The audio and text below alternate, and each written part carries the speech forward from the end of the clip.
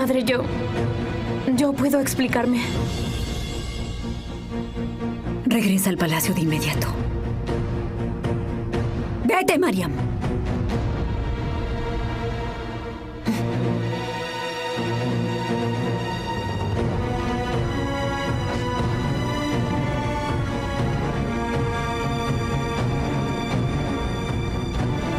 Creo que deberías explicarme esto, Bali Bey.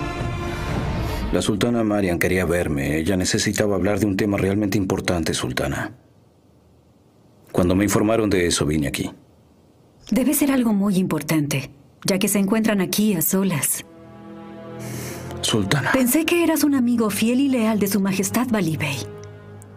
Y que lo seguías como su sombra para defenderlo y protegerlo. Pero es evidente que continúas coqueteando con las sultanas todo el tiempo. Puedo asegurarle que no es cierto, sultana. ¿Pero qué es lo que estás intentando decir, Bali Bey? ¿Que ellas te están persiguiendo? ¿Realmente acusarías a las sultanas de algo así? Alá no lo Cuida tus palabras, Malkokoglu. Cada día te hundes más y más. Sé cómo protegiste a las sultanas y las ayudaste con el asunto del oro de Ibrahim Pasha. Luego lo de Asmahan y ahora esto. Te veo a solas con mi hija. Alá mediante, no has hecho otro acuerdo secreto con ellas contra mí. Puede estar tranquila, sultana. Nunca haría un acuerdo con nadie. Contra nadie. Solo le sirvo a su majestad el sultán.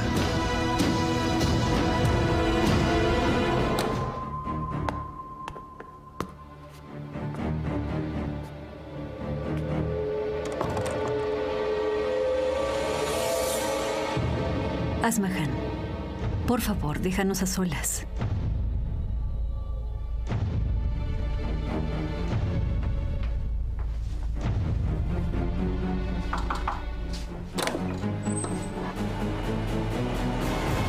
Mariam, te lo he advertido varias veces.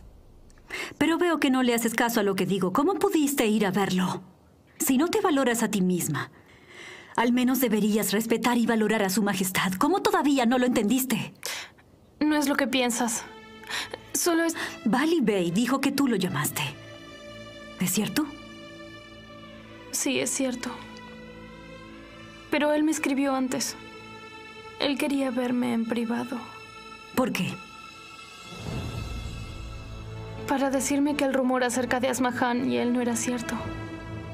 La misma Asmahan se sorprendió incluso al enterarse. Mariam. Malkokoglu es solo un soldado en servicio del imperio. No debes seguir adelante con esto. ¿Realmente fuiste a verlo a solas en una habitación? No, sultana. Solo estábamos hablando. Créeme, madre. Ninguno de los dos haría nada para avergonzarte. Es imposible. Tienes prohibido dejar el harén desde este día. Y tienes prohibido ir al jardín privado sin mi permiso. Ni una palabra. Olvídate de Bali Bey para siempre. Tienes prohibido verlo. Pero tú me lo prometiste.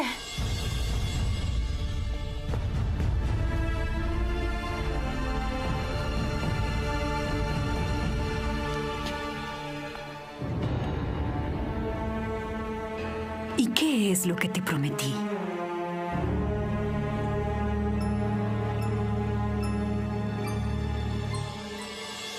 Te prometo que te casarás con quien ames, con quien desee tu corazón. Cuando llegue el día, sabrás elegir a ese hombre. ¿Lo prometes? Sí. Entonces, ¿quieres casarte con él?